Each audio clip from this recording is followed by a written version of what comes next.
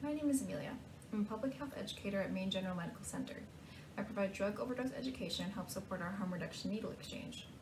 This presentation will cover basic information about hepatitis C in people who use drugs. So, what is hepatitis? The liver is a major organ in the human body that does an extremely important job. The liver breaks down alcohol, drugs, and chemicals to remove waste. When there is too much alcohol or too many drugs in the body, the liver is overworked and it can become inflamed. Hepatitis is a virus that directly impacts the liver and causes inflammation. When the liver is inflamed, it can't perform its functions as well. This will result in hepatitis symptoms like tiredness, fever, yellowing of the eyes and skin, and significant weight loss. There are five types of viral hepatitis, but I'll be focusing on the most common type of hepatitis in Maine. That's hepatitis C. You can get hepatitis C from your blood touching someone else's infected blood. Blood-to-blood -blood contact commonly happens with sharing needles or injection drug use equipment like tins.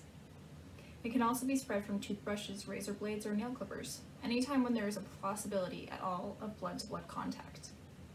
After coming in contact with infected blood, symptoms may appear anytime from two weeks to six months after, However, you can have zero symptoms for decades and still have hepatitis C and still give hepatitis C to others. There is currently no vaccine for hepatitis C. So a question, what is the most common way to get hepatitis C? When are people often engaging in blood-to-blood -blood contact? Sharing used injection drug equipment like syringes or other supplies with others is the most common way to get the disease from one person to another. The only way to 100% not get hepatitis C while injecting drugs is to use a clean, unused needle every single time you inject, or straw, or pipe.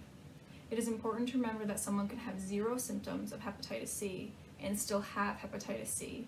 You never really know unless you are tested and they are tested. It's important to use clean needles. So, can you cure hepatitis C?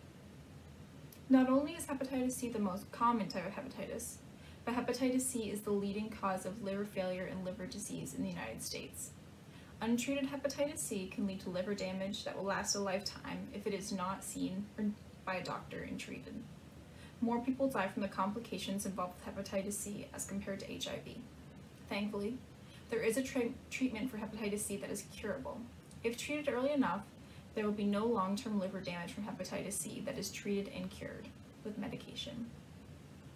However, you can become easily reinfected with hepatitis after treatment if you come in contact with infected blood again.